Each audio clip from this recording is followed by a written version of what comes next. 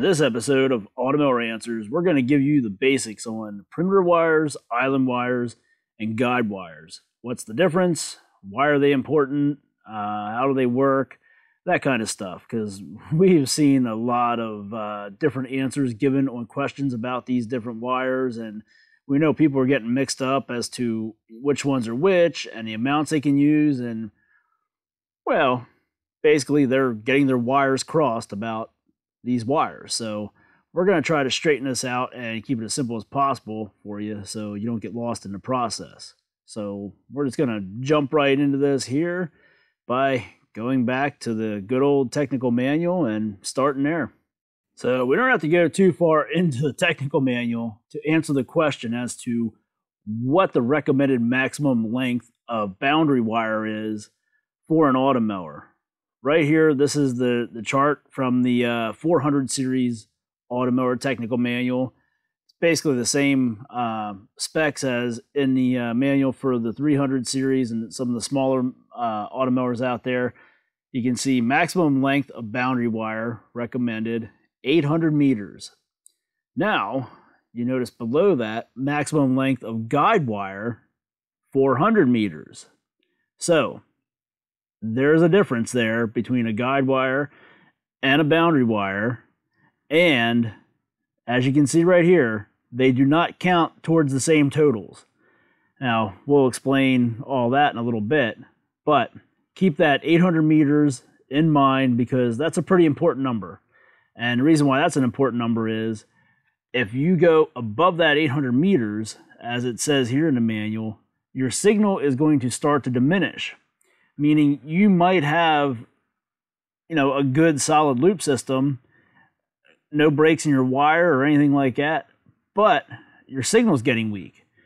What that means is when your mower gets out to the middle of a wide open area there's a good chance it's not going to receive the signal from the wires. So now that we know that guide wires do not count in that 800 meters they recommend for the boundary wire what you do have to remember is the wires that go in and around your objects and then back out to create an island, that counts in that 800 meters of boundary wire because that is part of the boundary or loop system there. So you need to figure that in carefully. In here in the manual, you can see at the bottom it says obstacles within the working area that can be run into should still be demarcated by the boundary wire, even though the function of the robotic lawnmower does not demand this. And their reason says here it will then make operations quieter and significantly reduce wear on the robotic lawnmower. So that's not really a big deal, especially on these newer ones because they put the rubber bumpers on there and everything. So that one there is that's a time where you, we go against the manual because if you're getting up around 800 meters, find some trees and some other objects that you don't have to go around to save yourself some wire so you can make a bigger working area for this mower. Um, you know, if you can put a border around a flower bed or a garden and let the mower run into it, hey, that's wire you're saving, especially if it's something that is smack dab out in the middle of your yard and you have to spend all that wire running out to the object to make, you know, a, a, a five foot circle around it. And then you're doing, you know, 30 feet of wire going one way in and one way out. What sense does that make? You know, get some four by fours, build a little frame around that thing, and uh, save yourself some wire for that 800 that they're allowing you for your loop system. So now the guide wire, and this is the one you want to pay real close attention to. Why? Because this is something that I've never even heard them explain in all the trainings I've gone to. Because this is something that you'll learn if you make the mistake of running a, a guide wire that's way too long and wonder why it doesn't work. So let's start here at the top. The guide wire, together with the part of the boundary wire that comprises the return to the charging station, is called the guide wire. The current in the guide loop always goes from the guide wire to the left in the connection between the guide wire and the boundary wire. Now, Everybody always just thinks that this is like some kind of an antenna wire. It doesn't matter how long it is. You just run it from the charging station, connect it into the boundary wire somewhere, and you're good to go. Wrong. This is actually a guide loop. You very rarely hear anybody use the term guide loop. But the significance of using that term, guide loop, is the fact that this isn't just a single wire, it's an actual loop giving out a different signal, a different frequency. So you need to figure in when you're running a guide wire out there, not just how long that wire is from the charging station to your boundary, but the distance from where you tie into the boundary and then to the left of that, all the way around your boundary wire back to the charging station. Because that is the loop that they're saying should not be over 400 meters. Now, 400 meters is a lot. You know, if you've got 800 meters for the entire boundary system and you're getting 400 meters for a guide wire, it's splitting the thing in half. Um, but, you know, I have seen this happen and have seen people do this where they just run a guide wire way out to the middle of nowhere, or they've got it zigzagged all around, you know, different things in the property and and stuff like that, and they tie it into the boundary wire, and it's got to the signal's got to go the whole way back around to the charging station, and the signal is so weak on that guide wire that the mower doesn't follow it, and it says that right down here. The strength of the uh, signal in the guide loop depends on the loop's length. The guide loop must therefore not be longer than approximately 400 meters. The longer the guide loop, the lower the strength of the signal, and the more difficult it is for the robotic lawnmower to follow the guide wire. Plain simple, right there it is in perfect English, right there in this technical manual. Um, so that's something you definitely got to take into consideration when you're laying out a guide wire. How often do they tell you that? Very rarely. They just say, yep, just run a guide wire out there and that'll help the mower get out there, that'll help the mower get back. You want to try to split the lawn or that area of the lawn as much as you can in half, and that's it. They don't really tell you that you're creating another loop with inside your main loop. So take that into consideration, as I said, as you're laying out your guide wires and you're planning on where you're going to attach them to your boundary wire. Here in the manual, they give you an illustration of how they recommend you do the guide wire. And you can see it comes out of the charging station, goes around there, and they show the arrows of the way the current flows back to the charging station. And it says right there in the middle of the page, make the guide loop as short as possible. If the guide loop is longer than 400 meters, it may be hard for the mower to follow the wire. shorter you keep it, stronger your signal strength is. So if you're wondering why it takes your mower so long to find that guide wire and get back to the charging station, shorten up your guide wire or connect it to the perimeter a different spot to shrink down the size of that loop to make your signal better. Um, so there you can see the way they have it laid out. We're going to show you some things here later on after we get through all this manual stuff. We got one more thing to talk about as far as the guide wire, and that is this. GPS assisted navigation. Good old GPS mowing.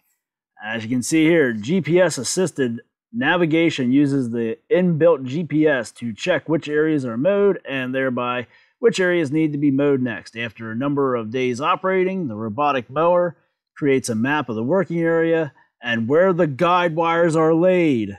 In this way, the robotic lawnmower can automatically set distance and proportion for hard to reach parts of the working area. This is why you install guide wires. Even if you are using GPS mowing, you still install the guide wires because it's going to map out where those guide wires are at and it's going to use them. Along with all the times we've recommended that you install them so that if you have a break in your loop system, you can switch them with a perimeter wire to help narrow down where your break and your boundary wire is at here is the main purpose of having the guide wires for the mower to get back and forth from the charging station to the working area and from the working area back to the charging station, whether you're using zones or not. Basically, the GPS, what it's saying here, is going to create the its own zones. So it's going to save you the time from doing that. So the excuse of, hey, you don't need to install guide wires, you can save yourself some money by just putting in the boundary system and using GPS mowing it's crap. Put in the guide wires. They're there for a reason. Use as many of them as you can. Okay, so now that we gave you all that technical information, we're going to show you what all of that means and told you I wanted to keep it simple. So here we are with the marker board and going to give you an idea here of uh, how to lay these guide wires out and what all that stuff was we were just talking about. So you can see here, that's your road, driveway, you got a flower bed, your house, a garden, a shed, and of course a volcano in the background. If you've ever been to an automower training, you know, there's volcanoes in the back 40 there, pretty much every property. So we're going to put our automower right here. Let's just say we have an outlet there because this is pretty central um, for the installation. And that's the biggest thing. Keep it as centralized as possible. So we're going to start with our boundary wire. And this is pretty simple, pretty straightforward. Um, we're going to come out, go around the house, around the entire property. You know, we're going to do our islands and stuff. So what I recommend doing before you go to do anything with the installation, get a measuring wheel, whether you have to buy one, borrow one, whatever, and walk the entire area where you're going to put down your boundary wire. See how much wire you're going to use before you go planning out your installation. Um, because this is gonna this is gonna give you an idea where you stand with that recommended 800 meters if you're close to that if you're over that and if you're over that now's the time where you can decide okay you know my garden um, i'm going to put a fence around it i'm going to build some kind of border around it my flower bed i'm going to put you know railroad ties or you know landscaping 4 by 4s or something around it so i don't have to waste that wire going around here my shed. I'm not going to put an island around it. The mower can just bump into it. Um, you know, things like that. Uh, you know, like I said before, if you have a tree right here smack dab in the middle of your yard and you've got to waste the wire to come in from somewhere here and you're going, you know, 40 feet in to do a circle around a tree just because it's got some uh, nasty roots sticking up and then you're going 40 feet back out that's a lot of wire you're using there. So it's just much easier to build something around that tree or come up with some kind of uh, barrier there that the mower can just bump into and keep going. Um, again, you know, ways to cut down that wire is what's going to be able to make you, or what's going to give you the ability to expand your working area. Everybody wants to classify these mowers as only being able being able to do a certain amount of acreage and honestly, the acreage doesn't really have anything to do with how much these mowers can cover. The amount of wire in your boundary system plays a huge part in how much they can cover. If you can stretch 800 meters of wire out across a two acre property, yeah, it's going to be able to mow that. You know, 450X could handle that. Um, because you've got to figure if you've got a two acre property, not all of that is going to be mowing. You know, you're going to have a driveway, you're going to have flower beds, you're going to have a house, you're going to have a garden, a shed, volcano, trees. Um, you know, maybe you got a big pole barn out here, stuff like that, where it's not actually going to be mowing. So you're going to end up with, you know, in that two acres, you might end up with an acre and a half um, that you're mowing. So you want to be able to use that boundary wire to spread that working area as much as you can. So again, just my advice there get a measuring wheel, go around, figure everything out that way before you start buying wire, before you just start randomly throwing the wire down and and making islands around everything in your yard. Take my advice on that one. Uh, I know that that system pretty well. I've been through that several times and it works. It'll save you a lot of hassle later on. So now what we're going to do is, like I said, we're going to come out from our charging station. We're going to go around the house here we're going to come down in front of the house. And here we need to make our decision, as I just said. Are we putting an island around the flower bed? Are we putting a border around it?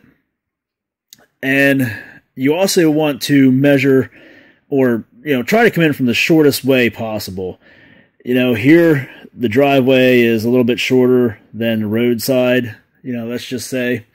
Um, but say it was the other way around and this flower bed was closer to the road and yeah, you're going to save some wire by coming into the flower bed from that shorter side, but if if it's along the road and it's an area where you get snow or something like that, and there's no curb here, I recommend not bringing it in from the road because I would bring it in here.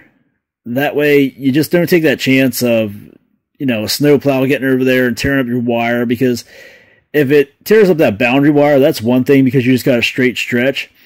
If you have islands coming off of there, God only knows how much of this wire from the island it's gonna the plow would grab and rip out of there. So then you're replacing, you know, wire for your island and for your boundary.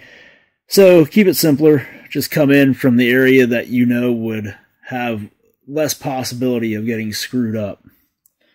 So we'll continue this around here. And we're going to make an island around this flower bed. So we're going to come in. We're going to go around our flower bed. And then we're going to go back out. Now, when you go back out after doing that island, you want to keep the wire right on top of each other. You don't want to cross them because that'll screw up the signal, but keep them as close together as possible. If you can put them right on top of each other, use the same staple, all the better. Because the closer those wires are, the better the signal is. And again, if you get up around that 800 meter mark, you go above that by a little bit. If you have a gap between these two wires, the one coming into the island and the one going out from the island, the signal is going to diminish when you get over that 800 meter mark, and this is where it's going to show. The signal is going to be not going to be strong enough here at these two wires for the mower to know what's going on and cross over it. It's going to get to it. It's going to sense that weak signal and think it's at the boundary, and it's not going to want to cross there. Ran into this one quite a few times and had to make modification to some islands. And, well, let's just say I've learned my lesson and now I'm passing this information on to you. So, we're coming down here along the road. And we come back around our property line. And we'll come up here We've got to go in. You always got to do an island around a volcano because you don't want your auto mower falling into a volcano because there is no recovering from that one. And back out to the boundary. Up here, like I just said, you know, the garden, you got to figure out if you want to do a boundary around it or not. Um, just for the sake of this, we're going to go in, do an island around our garden because, well, it's easier than putting a fence up. Then we're going to come over here. The shed, we're going to let go. It can just bounce into the shed. It can run into it, turn around, do its thing. We're not worried with an island around the shed. Then back up around our property line here and back into our charging station. So, the 800 meters of wire that we can use that they recommend for the boundary system is everything in red. That is it there. That's what you can use up to 800 meters for. That is, if you go over 800 meters, your signal is going to diminish. So islands and the perimeter, all of that counts in that 800 meters. Nothing else. Guide wires do not count in that. Now, on to the guide wires. So what do the guide wires do? Well, as I said, they connect from the charging station to somewhere in the perimeter wire and you saw that picture that they show you in the manual there where they have the guide wire coming out here going around the house and then right into here keeping it nice and short. Because if your guide wire is too long it's going to be the same way as your perimeter wire. It's going to weaken the signal. So now you don't have to, i mean this is a big yard so you're not going to go as extreme as they did and that, that diagram there and from the manual because they had a pretty narrow opening here, you know, so they stuck real close to it. They were able to keep theirs nice and short. And if you've ever been to any kind of an automower training, you know, everything is just this perfect scenario where it's a perfectly square yard and you got one random island like right here and that's it. You know, the real world, it doesn't work like that, at least not where I come from and not with the installations I've dealt with. So what we're going to do is we're going to bring a, a guide wire. We're going to come out here and then we're going to come up around and uh, we're going to take this guide wire here and then into here. And the reason we're going to stay out here a little bit more is because it helps to split the yard in several ways here.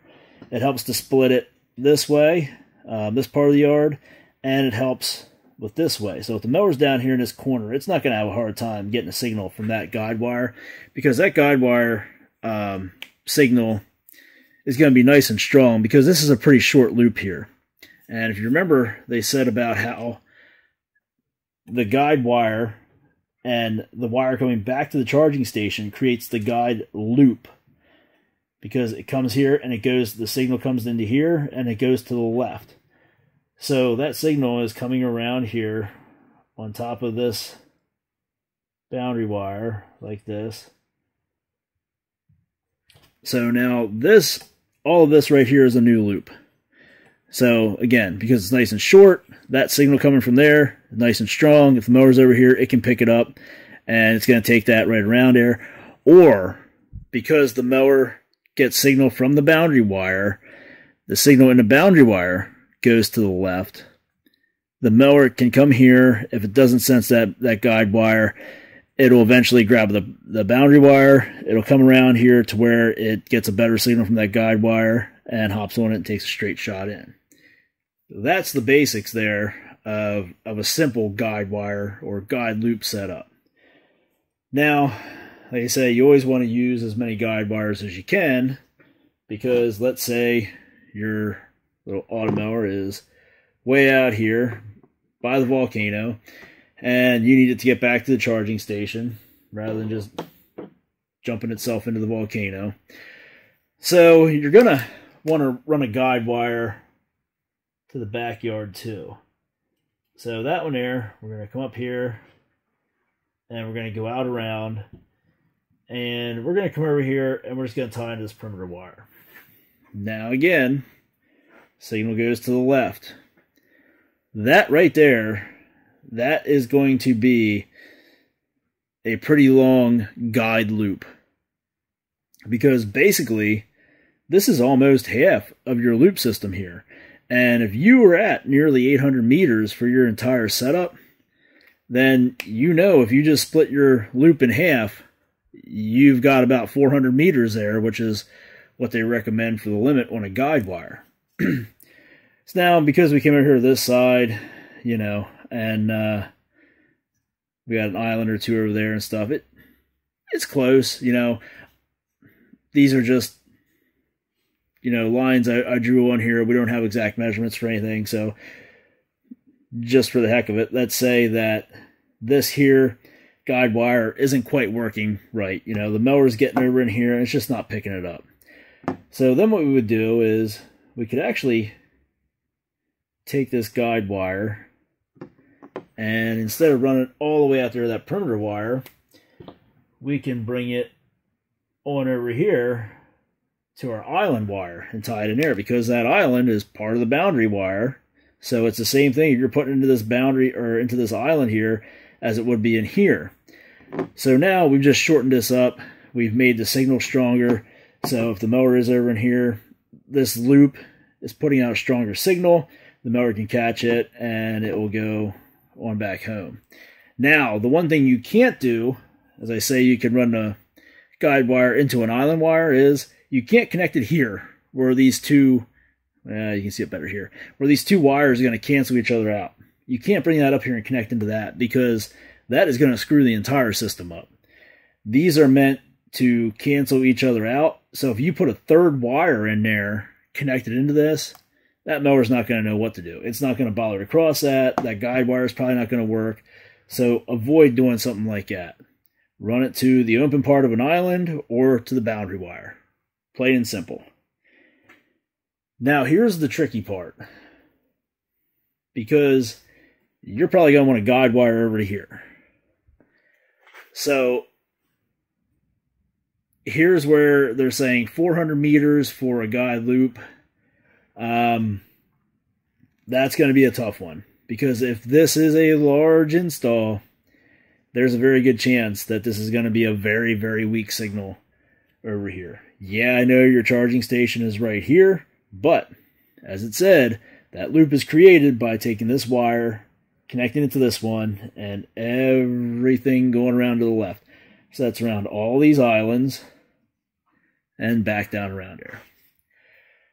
So the nice thing about this is if you run a guide wire over there you can keep it nice and short.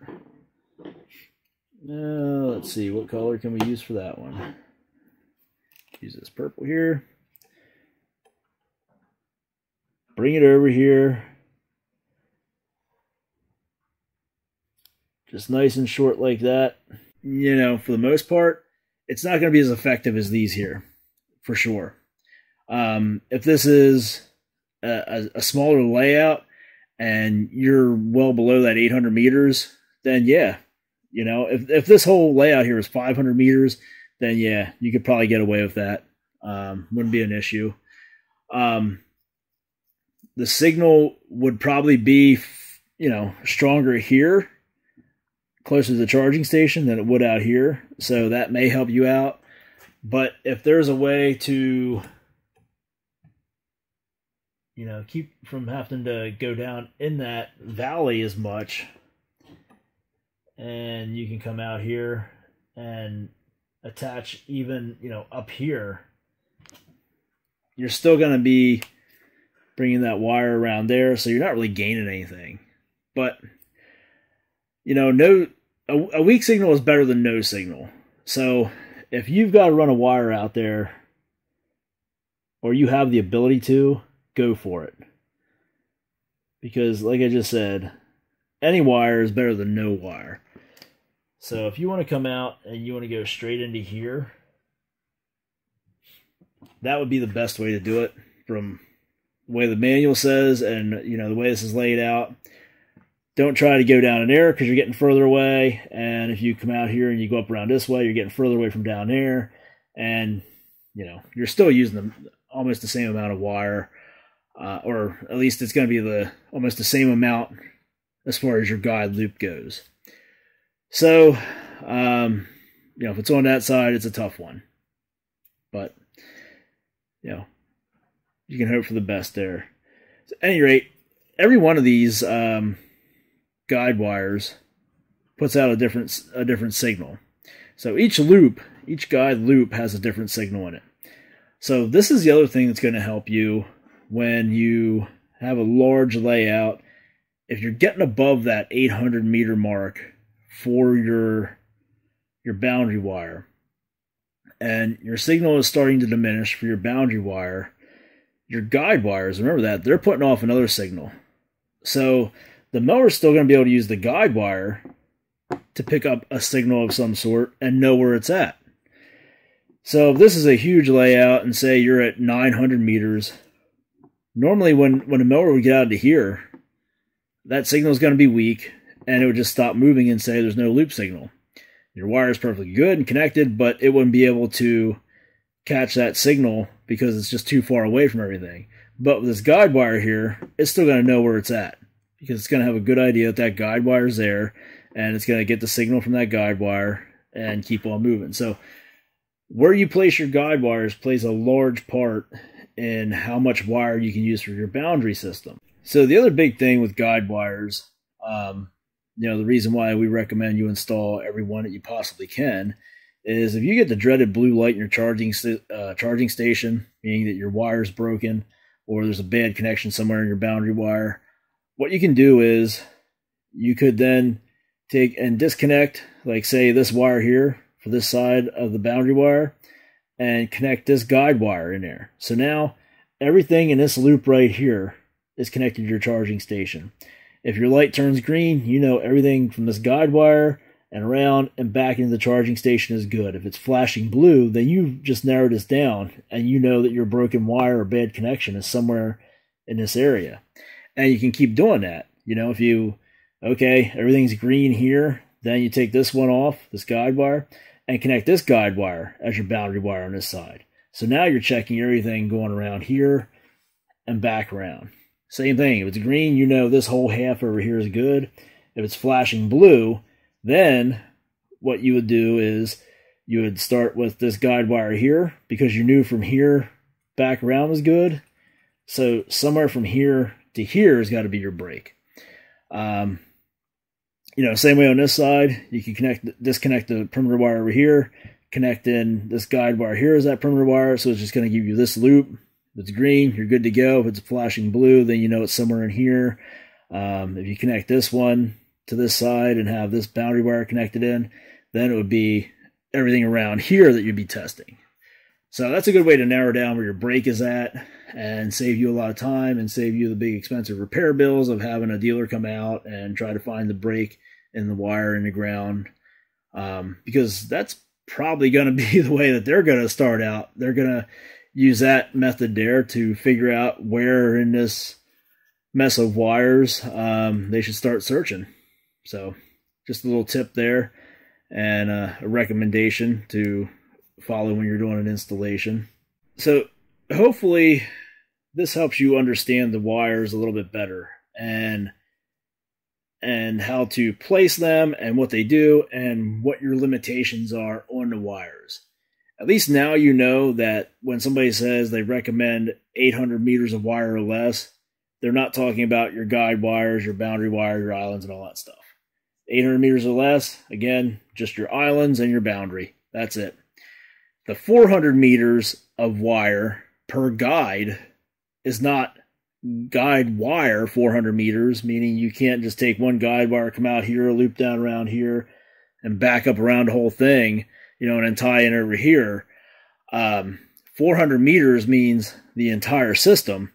So you need to figure that one out on your own uh, when you go to install the guide wire, and that's where a measuring wheel comes in very handy. Um, you know, you need to figure out if you've got too big of a, a loop you're trying to cover there.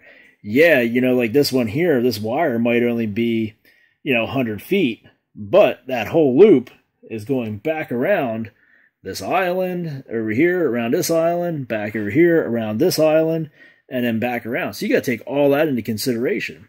This might only be 100 foot of wire, but that loop might be, you know, 600 meters.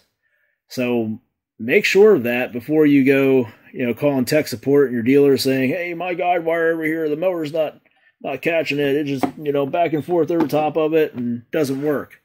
Um, take all this stuff into consideration. Make sure you ask your dealer if you have somebody coming out to install this from a dealership or something. You know, make sure to question them about this because there are a lot of dealers, like I say, that think that okay, we're just going to run three guide wires um, we're going to run these two like that. And our third one is just going to be come out over here and then straight up there, split that yard in half, and we're good to go. When you start having issues with your mower just wandering around over here and it doesn't know what to do, that's probably going to be why. Because this guide loop now, coming out here, going to the left, is just too big. You know, the mower's just not going to sense it.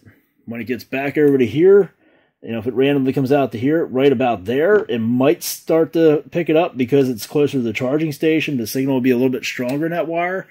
That's a possibility, but more than likely what's going to happen is it's going to ignore that guide wire and it's just going to start following the boundary wire until it gets back to somewhere where it can pick up a better signal and get closer to one of these other guide wires.